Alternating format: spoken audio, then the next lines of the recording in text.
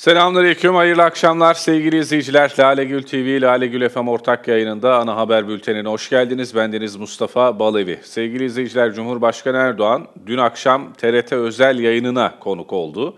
Gündeme dair açıklamalarda bulunan Erdoğan, 14 Mayıs'ın Türkiye için şahlanış dönemi olacağını söyledi. Erdoğan, fahiş kira artışlarının önüne yasal düzenlemelerle geçeceklerini de açıkladı. Evelallah 14 Mayıs sonrası Türkiye için bir şahlanış dönemi olacak. Cumhurbaşkanı Erdoğan TRT özel yayınında fahiş kira artışlarına tepki gösterdi. Yasal düzenlemeyi işaret etti. Ve tabii bu ara bir de maalesef üzülüyoruz. İnşallah seçimden sonra bu konuda işin üzerine gideceğiz. Yani kiraları büyük şehirlerde ciddi manada yükseltildiğini görüyoruz. E bu tabii vicdani değil ahlaki değil, insani değil. Yani bu bir fırsatçılıktır. Bu fırsatçılığa da yasal düzenlemelerle kesinlikle izin vermeyeceğiz. Erdoğan muhalefeti eleştirdi, vatandaşlara seslendi. Herkes başına geçtiği kurumun başarısını ne yapar? Kitaplaştırır. Bay Bay Kemal ise SSK'yı nasıl batırdığını, yani başarısızlığının kitabını yazmış. Şaka değil ha. Gerçek kendisinin yönetimindeki SSK hastanelerinin o dönemdeki rezil haline uydurma bahaneleri içeren vur ama dinle başlıklı bu kitabı hazırlamış. Kitap denmez buna zaten broşür. Ve bu kitapta Bay Bay Kemal'in bizzat kendi ağzından başarısızlığının itirafı var. Ama öyle pişkin ki başarısızlığın sorumluluğunu kabul edemiyor. Ey benim sevgili vatandaşım. İşte bir tarafta bu hastaneleri hayata geçirmiş olan Tayyip Erdoğan ve ekibi var. Cumhur İttifakı var. İşte bir tarafta da Bay Bay Kemal'in o SSK'nın başında olduğu dönemlerde yapmış olduğu hastanelerin durumu var. Bir tarafta şu anda terör örgütünün parlamentodaki uzantısıyla işbirliği yapan ve dağdan, Kandil'den biz Bay Bay Kemal'in yanındayız diye haberler gönderen teröristlerin savunduğu bir maalesef yedili masa var. Ama bir tarafta da hamdolsun milletinin bütün her şeyine sahip çıkmanın ahdi içerisinde olan bir Cumhur İttifakı var. Erdoğan yedili masanın Kürtleri istismar ettiğini söyledi. Şimdi bu yedili masa özellikle bizim Kürt vatandaşlarımızı da biliyorsunuz istismar ediyor. Yaptığı zulümlerle bir defa burada bir CHP'nin ittifakı var. CHP'nin benim Kürt vatandaşlarımı, Kürt kardeşlerimi sevmek diye bir derdi yok. Bunların hepsi yalan. Ve Güneydoğu'da, Doğu'da CHP'nin esamesi bile okunmuyor. O şimdi kalkıp işte terör örgütünün Güneydoğu, Doğu'daki uzantılarıyla parlamentoya girişinden bir şeyler elde etmeye çalışıyor. Bizim şu an itibariyle özellikle Güneydoğu, Doğu'daki benim Kürt kardeşlerimle, vatandaşlarımla da bir problemim yok. CHP ve HDP bir araya gelip kapalı kapılar arkasında pazarlıklar yapmışlar, anlaşmışlar. Bunların din düşmanlığı yeni değil. CHP'nin geçmişinde bu yok mu? Var. CHP'nin geçmişinde, tarihinde zaten din düşmanlığı var. CHP hep bununla anılmış. Ve CHP ile HDP bir araya gelip kapalı kapılar arkasında yaptıkları bu pazarlıklarla bir mesaj veriyorlar. O da nedir? Benim Kürt kardeşimi nasıl aldatacaklar? Bu. Şimdi bizim iktidara gelişimize kadar Güneydoğu'da, Doğu'da buralara yapılmış herhangi bir yatırım var mıydı? Yoktu. Biz iktidar olduk ve sözüm benim şuydu.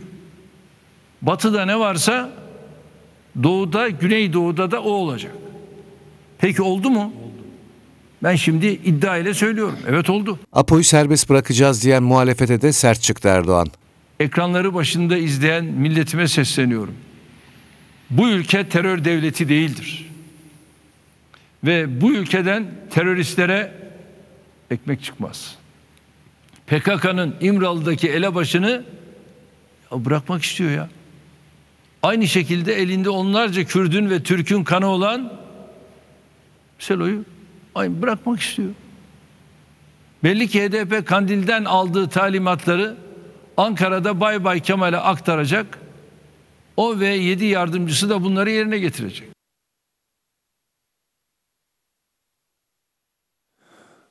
Cumhurbaşkanı Erdoğan dün Eskişehir'deydi. İftarda gençlerle buluştu. Erdoğan muhalefetin Selçuk Bayraktar'ı karalama kampanyasına katılanlara sert çıktı. Millet İttifakı'nı da eleştirdi Erdoğan. Biz naftalin kokulu vaat bohçasını açıp kapatanlardan değiliz dedi. Cumhurbaşkanı Erdoğan dün Eskişehir'de iftarda gençlerle buluştu. Selçuk Bayraktar ve Baykar'ı yalanlarla hedef alan sözde gazeteci ve yorumculara sert sözler sarf etti. Bayramdan sonra da bir müddet daha Sarayburnu'nda veya bölgede bu gemimiz ziyarete açık olarak kalsın. Çünkü görmeyen gözler görerek bizzat yaşayarak bununla gururlansın ya. Ya benim de uçak gemim var desin. Sevgili gençler göreve geldiğimizde bizim yerli savunma sanayimiz neydi? Yüzde yirmi. Ama şimdi yüzde seksen. E yüzde seksene nasıl ulaştık? İşte TCG Anadolularla ulaştık. İHA ile ulaştık. SİHA ile ulaştık. Akıncı ile ulaştık. Ve Kızıl Elma ile ulaştık. Yatıyorlar, kalkıyorlar. Televizyon ekranlarında Selçuk aşağı, Selçuk yukarı. Selçuk aşağı, Selçuk yukarı. Ya ne yaptı Selçuk? Neymiş damatmış. Ya bunların rahmetli babası Allah kuruşu bankalardan kredi almadan çalıştı. Böyle çalıştı. Ve şu anda çocukları da aldıkları bu terbiyeyle devam ediyorlar. İhraca yönelik çok ciddi bir potansiyel var. Talepleri karşılayamıyor, karşılayamıyorlar. Ve öyle bir baba ki devletin bunlara tahsis ettiği yerleri bile almıyor. Ya yapma. Bak devlet tahsis ediyor. Niye almıyorsun? Çünkü sen stratejik bir yatırım yapıyorsun. Sana bunu hak olarak devlet veriyor. Yatıyorlar, kalkıyorlar. Ne kadar imansız, kitapsız, komünist varsa televizyonda bunları konuşturtuyorlar. Bunlar çünkü devlet düşmanı. Millet düşmanı. İşleri güçleri neymiş? Erdoğan bunlara bol bol para vermiş. Elinize dilinize dursun. Erdoğan muhalefetin vaatlerini de eleştirdi. Dans ve kalp işareti yapma üzerinden eleştirdi. Bunlardan bu ülkeye hayır gelmez dedi. Sevgili gençler, biz seçim öncesinde naftalin kokulu vaat bohçasını açıp sonrasında ağzını bağlayanlardan değiliz. Biz önce hayal kurar, hedefleri belirler, programa ve projeye dönüştürür, ardından da bunları tek tek hayata geçiririz. Meydanlarda ne söz verirsek göreve geldiğimizde ahdimize sadık kalır, vaatlerimizi mutlaka gerçeğe dönüştürmeye çalışırız. Kapı gıcırtısına dans edenlerden de elleriyle kalp yaparak gençlere sempatik görüneceklerini düşünenlerden de bu ülkeye hayır gelmez. Gençleri anlamak, mutfakta video çekerek veya otobüs kapısında raks ederek değil, onların geleceklerine yatırım yaparak olur. Milli Savunma Bakanlığı, Irak'ın kuzeyindeki Pençe Kilit Operasyonu ve Gara bölgesinde 6 PKK'lı teröristin etkisiz hale getirildiğini duyurdu. Kuzey Irak 6 teröriste mezar oldu. Terörle mücadele hız kesmiyor. Mehmetçik sınır ötesinde de PKK'lı teröristlere nefes aldırmıyor. Milli Savunma Bakanlığı Irak'ın kuzeyinde Pençe Kilit Operasyonu ve Gara bölgesinde 6 PKK'lı teröristin etkisiz hale getirildiğini duyurdu. Operasyon Milli Savunma Bakanlığı'nın sosyal medya hesabından duyuruldu. Paylaşımda durmadan, yorulmadan inlerini başlarına yıkmaya devam. Irak'ın kuzeyindeki Pençekilit operasyonu ve Gara bölgesinde 6 PKK'lı terörist etkisiz hale getirildi, ifadeleri kullanıldı. Milli Savunma Bakanı Hulusi Akar, 14 Mayıs seçimlerinde milletvekili adayı olarak gösterildiği Kayseri'de katıldığı bir programda konuştu. Bakan Akar, muhalefeti eleştirdi. Bazıları terörist elebaşını tahliye edeceğiz diyerek teröristleri cesaretlendiriyor. Buna izin vermeyeceğiz dedi. Milli Savunma Bakanı Hulusi Akar Kayseri'de katıldığı bir sahur programında açıklamalarda bulundu. Muhalefetin terörist elebaşı Apo'yu serbest bırakacağız vaatlerine sert çıktı Bakan Akar. Ülkemizin büyümesine, ülkemizin güçlenmesine engel olmak üzere, takoz olmak üzere bunu durdurmak için, yavaşlatmak için her türlü teşebbüste bulunuyorlar. Bunlardan biri de terör. Teröristleri araç olarak kullanıyorlar. Türkiye'nin başına bela ediyorlar. Zamanımızı harcıyoruz, enerjimizi harcıyoruz, efendim paramızı harcıyoruz ve bir şekilde ülkemizin güçlenmesini ve büyümesini engellemeye çalışıyorlar. Fakat bu yönde çok şükür, çok şükür Mehmetçik büyük bir zafer aldı. Fakat şimdi bazıları çıkıyorlar, diyorlar ki biz terörist elebaşını tahliye edeceğiz, hapisten çıkaracağız. Diyorlar ki efendim biz işte bunlara hak vereceğiz teröristlere, bunlara imkan vereceğiz. Ve bunları teröristleri cesaretlendiriyorlar. Cesaretli onları güçlendiriyorlar. Onlara bir şekilde arka çıkmak için ellerinden her türlü gayreti gösteriyorlar. Arkadaşlarım bunlar bizim bu yıllarca şehitler vermek suretiyle kazandıklarımızı yok etmek istiyorlar. Buna bu milletin sizlerin müsaade etmeyeceğine bütün kalbimize inanıyoruz. Bunun mümkün olmadığını söylüyoruz. Bakan Akar terörle işbirliği yapanlarla bizim meselemiz var dedi. Burada bir zihniyetten bahsediyoruz. Zihniyetten bahsediyoruz. Kendisiyle teröristler arasında mesafe bırakmayan, teröristlere karşı, terör örgütüne karşı tavır almayan, onlarla hemhal olan, e, ittifaklarla, onlarla hemhal olan partilerle işbirliği yapanlarda bizim meselemiz var arkadaşlar. Bizim bunlara müsaade etmemiz asla söz konusu değil. Asla bu konuda efendim bizim herhangi bir şey evet dememiz mümkün değil. Bu bizim başımıza bela demektir. Her şeyin yeni baştan başlaması demektir. Bu gerçekten büyük bir kayıptır. Büyük bir efendim bu millete zulümdür. Buna müsaade etmeyeceğiz. Bu millet buna müsaade etmez. İçişleri Bakanı Süleyman Soylu İstanbul Bahçeli Evler'de sahur programına katıldı. Sert mesajlar veren Bakan Soylu 14 Mayıs'ta ABD'nin de ağzı kapanacak dedi. İçişleri Bakanı Süleyman Soylu İstanbul Bahçeli Evler'de sahur programına katıldı. Programda konuşan Soylu'nun hedefinde muhalefet vardı. Bu milletin çocuğu olmak için bu milletin temel değerlerine sahip çıkıp LGBT gibi sapkın anlayışlarla aile yapımızı ortadan kaldırabilmek için çaba sarf etmeyeceksiniz. Bu milletin çocuğu olmak için elin büyük elçisinin masasına gidip onun talimatlarını alıp onun üzerine siyaset bina etmeyeceksiniz. Bu milletin çocuğu olmak için ömrünüzde bir kere 28 Şubat'ta yaptığınız gibi millet düşmanı olmayacaksınız. 15 Temmuz'da yaptığınız gibi millet düşmanı olmayacaksınız. Bakan Soylu 14 Mayıs seçimlerinin önemine değindi. Bana kızıyorlar. Ben bunlara Amerika'nın çocukları demişim de ağlarına gitmiş. Bana kızıyorlar. İşin kolayı var. Amerika'nın çocuğu olmayın. Bu milletin çocuğu olun bir kere de. Bu milletin çocuğu olun. Ama bu milletin çocuğu olmak için PKK ile işbirliği yapmayacaksın. Yeniden Refah Partisi Genel Başkanı Fatih Erbakan aday tanıtım toplantısı için Bursa'daydı. Bizim ittifak kararımız tamamen ilkelerimiz ve prensiplerimiz üzerine inşa edilmiştir dedi. İnşa edilmiş bir karardır dedi Fatih Erbakan ve ülkeyi yedili kaosa teslim edemeyiz ifadelerini kullandı. Yeniden Refah Partisi Genel Başkanı Fatih Erbakan aday tanıtım toplantısı için Bursa'daydı. Erbakan ittifaka neden destek verdiklerini bir kez daha anlattı. Biz ittifaka yanlışa ortak olalım diye girmedik. Biz ittifaka yanlışları el birliğiyle düzeltelim diye girdik. Eksikleri tamamlayalım, yanlışları düzeltelim. Bunların düzeltilmesine biz de vesile olalım. Bunun takipçisi olalım. Mecliste yapıcı ve etkili bir muhalefetle milletimizin hayrına olan o mutabakat maddelerimizin uygulanmasının takipçisi olalım.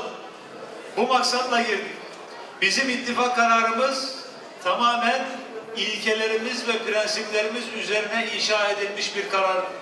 Biz yeniden Refah Partisi olarak, milli görüş olarak dün yanlış dediğimize bugün de yanlış demeye devam ediyoruz.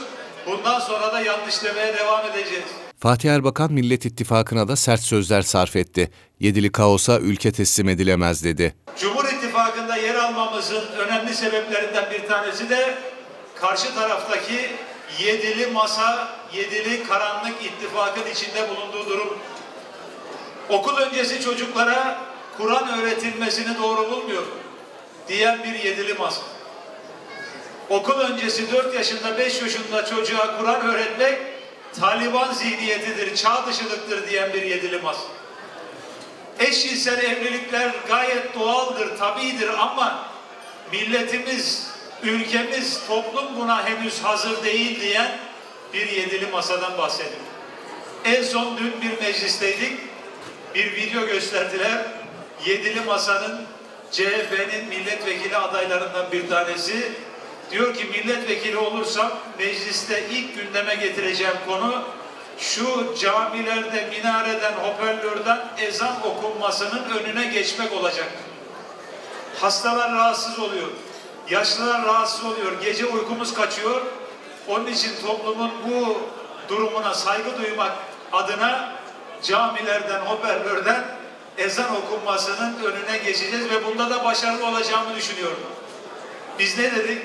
Bu CHP ne kadar makyaj yaparsa yapsın, ne kadar kıyafetini değiştirirse değiştirsin, ne kadar mücevher takı takıp takıştırırsa takıştırsın, genetik özelliği, genetik yapısal özellikleri değişmiyor. İşte bunlar bunun en açık örneği.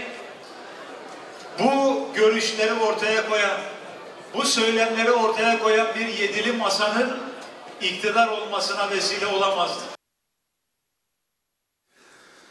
Zonguldak'ta bulunan Filyos Doğalgaz İşleme Tesisinden Karadeniz doğalgazını karaya çıkartmak için çalışmalarını sürdüren Türkiye Petrolleri Anonim Ortaklığı karaya ulaşan gazın ilk kez yanma görüntülerini paylaştı. Karadeniz gazı Sakarya Gaz Sahası kara tesislerine ulaştı. İlk alevler Evet, sevgili izleyiciler bu haberimizi aktaracağız elbette ilerleyen dakikalarda. Türkiye'nin gururu, yerli ve milli gururumuz Kızıl Elma. Beşinci kez havalandı. Baykar Yönetim Kurulu Başkanı Selçuk Bayraktar, Kızıl Elma'nın 5. sistem tanımlama testini başarıyla tamamladığını duyurdu. Milli gururumuz 5. kez havalandı. Kızıl Elma sistem tanımlama testini başarıyla tamamladı. Baykar Yönetim Kurulu Başkanı Selçuk Bayraktar, Kızıl Elma'nın 5. sistem tanımlama testini başarıyla tamamladığını açıkladı. 18 Nisan 2023 Bayraktar Kızıl Elma bugün 5. uçuş testini gerçekleştirdi. Bugün sistem tanımlama testleri kapsamında iniş takımları kapalı ve açık bir şekilde test manevralarını başarıyla gerçekleştirip yine Çorlu'daki meydanımıza gelip indi. Bunun yanında test sırasında piste yakın hızlı geçişlerimiz de oldu. Bütün bu manevraları Kızıl Elma başarıyla tamamladı. Vatanımıza, milletimize hayırlı ve uğurlu olsun. Gökyüzündeki testlere devam eden Bayraktar Kızıl Elma, uçuş test kampanyası çerçevesinde önemli bir aşama daha tamamlamış oldu. Kızıl Elma insansız savaş uçağının 2025 yılında TCG Anadolu gemisinden uçuş testlerine başlaması bekleniyor. Baykar'ın %100 öz sermaye ile yola çıktığı Bayraktar Kızıl Elma projesi 2021'de başlamıştı. Liderlerin Ramazan Bayramı programı da belli oldu. Cumhurbaşkanı Erdoğan bayrama İstanbul'da girecek. Ardından Gaziantep'e gidecek. CHP lideri Kılıçdaroğlu ve Akşener de bayramda deprem bölgesinde olacak. MHP lideri Bahçeli ise ilk gün Ankara'da. Liderlerin bayram programı belli oldu. Cumhurbaşkanı Recep Tayyip Erdoğan bayrama İstanbul'da girecek. İlk gün restorasyonu biten Sultanahmet Camii'ni açacak. Cumhurbaşkanının bayram namazını da orada kılması bekleniyor. Selamlıyorum. Cumhurbaşkanı Erdoğan bayramın ikinci günü deprem bölgesinde olacak. Gaziantep'te köy evlerinin teslim törenine katılacak. Sonraki günlerde bölgede ziyaretleri olacak. MHP lideri Bahçeli ise bayramın ilk günü Alparslan Türkeş'in mezarını ziyaret edecek. Muhalefet liderleri de bayramda deprem bölgesinde olacak. Millet İttifakı'nın Cumhurbaşkan adayı Kemal Kılıçdaroğlu Adıyaman'ı ziyaret edecek, İyi Parti lideri Meral Akşener ise Malatya ve Hatay'a gidecek. Ramazan bayramına kavuşacak olmanın heyecanı içerisinde olan milyonlarca Müslüman 21 Nisan'da camilere koşacak, bayram namazını eda edecek. Diyanet İşleri Başkanlığı il il bayram namazı saatlerini açıkladı. Bayram namazı İstanbul'da saat 06.49'da, Ankara'da ise 06.34'te kılınacak. İslam alemi Ramazan bayramına kavuşacak olmanın coşkusunu yaşıyor. Milyonlarca Müslüman Cuma günü bayram namazı için camilere akın edecek. Diyanet İşleri Başkanlığı'nda il il bayram namazı saatlerini duyurdu. Diyanet İşleri Başkanlığı'nın verilerine göre bayram namazı İstanbul'da saat 06.49'da kılınacak. Başkent Ankara'da bayram namazının saati ise 06.34. Türkiye'de en erken bayram namazı 05.50'de Iğdır'da, en geçse 07'de Çanakkale'de kılınacak. Ramazan bayramı öncesi şekercilerde büyük bir yoğunluk yaşanıyor. Bayram şekerlerinin fiyatları ise 50 ila 850 lira arasında değişiyor. Ramazan bayramı öncesi şekercilerde büyük bir yoğunluk yaşanıyor. 25 aldım benim adıma. Hemen her bütçeye uygun bayram şekerleri vitrinlerde iştah kabartırken fiyatlar en alt kademe şeker 80 ila 200 TL, çikolata olarak 150 ila 850 TL arasında değişiyor. Bir şey mi? Şeker satıcıları vatandaşların en çok talep aralığının 200 ila 450 TL arasında olduğunu belirterek herkesin misafirini imkanlar ölçüsünde en iyisini ikram etmeye çalıştığını söyledi. En alt kademe şeker olarak 80 liradan 200 liraya kadar, çikolata olarak da 150 liradan 850 liraya kadar çeşitlerimiz var. Ee, en çok talep edilen çeşit olarak değil de fiyat aralığı olarak söyleyeyim 200 ile 450 kilo fiyatı olanlar tercih ediliyor. Çünkü herkes bir, mümkün olduğunca kendi gelen misafirine biraz daha iyisini ikram etmek istiyor gücüne göre. Şeker ve çikolatanın dışında vatandaşlar lokum ve draje ürünlerine de ilgi gösteriyorlar. Ve Ramazan bayramının olmazsa olmazı baklava. Ancak artan maliyetler nedeniyle bayramın vazgeçilmezi olan baklavanın fiyatı da arttı. Piyasada ucuza satılan baklavalara karşı uzmanlar uyarıyor ve 300 liranın altındaki baklavalara şüpheyle bakmak gerekiyor diyorlar. Ramazan bayramına sayılı günler kala vatandaş tatlı telaşına düştü. Bayram sofralarının vazgeçilmezi ise baklava. Ancak artan maliyetler nedeniyle baklavanın fiyatı arttı. Maliyetler yükselince baklavaya hile karıştı. 70-80 lira dediğiniz baklavalar da şu şekilde. Yani içerisine dediğiniz gibi bir takım hile hurda karıştırarak aynı zamanda tereyağı yerine sade yağ yerine margarin koyması ürünün fiyatını otomatikman aşağıya çekiyor.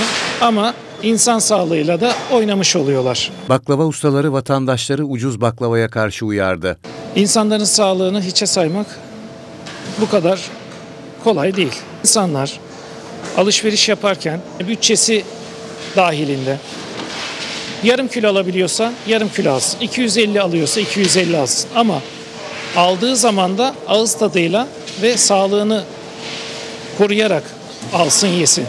Dolayısıyla 1 kilo yiyeceğine 250 gram yesin ama sağlığıyla oynamasın. 300 liranın altındaki baklavalara şüpheyle yaklaşmak gerekiyor. Cevizli ürünler 300 liranın altında olamaz. Fıstıklı üründe 380-370'in altında olamaz. Yani eğer ki 300-350 liranın aşağısında bir baklava alıyorsa şüpheyle baksın. Ee, yani içine kullanılan malzemeler ya kalitesiz ya da bir takım hilelere başvurulmuştur. Tayvan'ın en eski el yazması Kur'an-ı Kerimi olarak bilinen tam 500 yıllık tarihi eser Ulusal Tayvan Kütüphanesi tarafından onarılıyor. İki yılı aşkın süredir özel bir bakımdan geçen Kur'an-ı Kerim'in onarım işlemi Mayıs ayında tamamlanacak ve sonrasında da sergilenecek.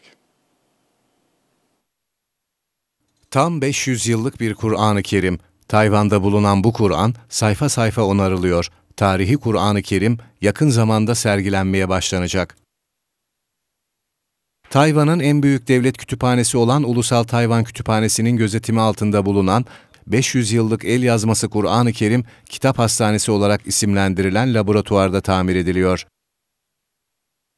Geçen 500 yıllık zaman içinde tahrip olan kısımları bulunan Kur'an-ı Kerim, Tayvan Ulusal Kütüphanesi'ne bağlı Tayvan Kitap Hastanesi'nde kitap tamircisi olarak çalışan uzman Hisu Meiwen'e 2 yıl önce teslim edilmişti.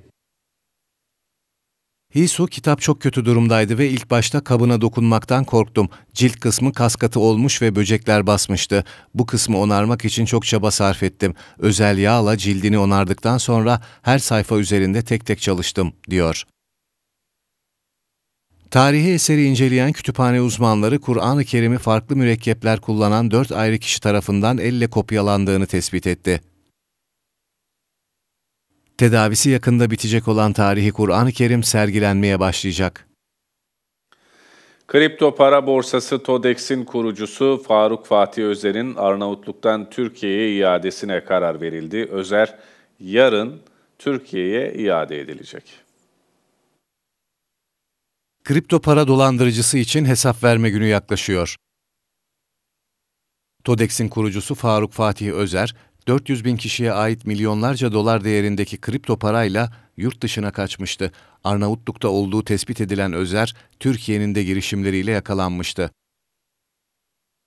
Türkiye'nin başvurusu sonrası Arnavutluk'ta iade süreci başladı. Arnavutluk Yüksek Mahkemesi'nin iade kararını Arnavutluk Cumhuriyeti Adalet Bakanlığı duyurdu. Firari Faruk Fatih Özer'in 20 Nisan Perşembe günü Türkiye'ye iade edileceği öğrenildi. Özer örgüt kurma ve yönetme suçundan kaynaklanan mal varlığı değerlerini aklama ve nitelikli dolandırıcılıkla suçlanıyor. İstanbul'da DAEŞ ve El-Kaide terör örgütlerine yönelik operasyon vardı. Çatışma bölgeleriyle irtibatlı tamamı yabancı uyruklu 6 şüpheli gözaltına alındı. Terörle mücadele hız kesmiyor. İstanbul'da DAEŞ ve El-Kaide terör örgütlerine operasyon düzenlendi. Operasyonun hedefinde çatışma bölgeleriyle irtibatlı kişiler vardı. 7 ilçede 10 adrese eş zamanlı baskınlar yapıldı. Ülke için tehdit oluşturdukları değerlendirilen tamamı yabancı uyruklu 6 şüpheli gözaltına alındı. Şüphelilerin emniyetteki sorguları sürüyor. Eskişehir'de fabrika işçilerini taşıyan servis şarampole uçtu. Feci kazada 3 işçi hayatını kaybetti, 31 kişi yaralandı. İşçi servisi şarampole uçtu, 3 işçi hayatını kaybetti.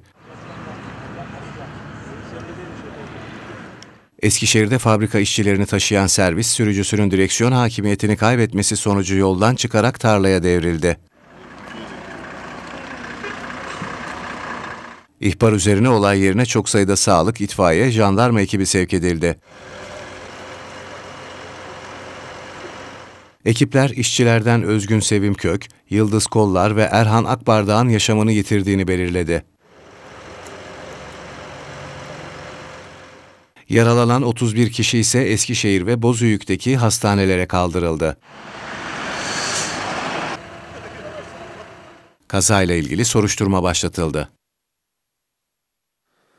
Nisan ayının artık neredeyse sonlarına gelmeye başladık e, ve Erzurum'a henüz bahar gelmiş değil. Birçok köy yolunda karla mücadele sürüyor. 3 metreyi bulan kar iş makineleriyle kaldırılıyor. Erzurum'da Nisan ayında karla mücadele devam ediyor. Kış mevsiminde kapanan Tekman ilçesi Turnagöl mahallesi ile Çat ilçesi Budaklar mahallesi arasındaki köy yollarında karla mücadele sürüyor. Yüksek kesimlerde kar kalınlığı yer yer 3 metreyi buluyor. Bir hafta süre çalışmaların ardından yaklaşık 10 köy yolu açıldı. Ekiplerin kapanan yolları açma çalışmaları aralıksız devam ediyor. İstanbul'da son günlerde etkili olan yağmurun etkisiyle barajlardaki doluluk oranı son 6 ayın ardından %45'in üzerine çıkarak %45.95 seviyesine yükseldi. Kurak bir kış geçiren İstanbul'da son dönemde etkili olan yağmur barajlara yansıdı. Megakent İstanbul'a su sağlayan barajların doluluk oranı artmaya başladı.